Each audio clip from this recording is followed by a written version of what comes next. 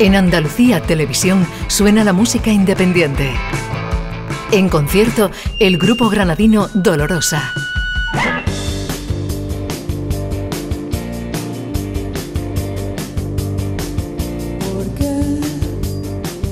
Este miércoles por la noche, nuestra música en Andalucía Televisión.